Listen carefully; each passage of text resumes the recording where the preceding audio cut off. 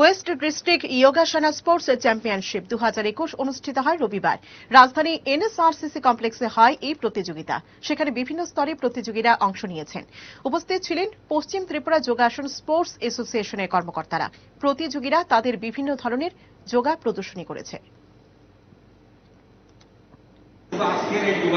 অংশগ্রহণ নয়। ফিউচারেও যাতে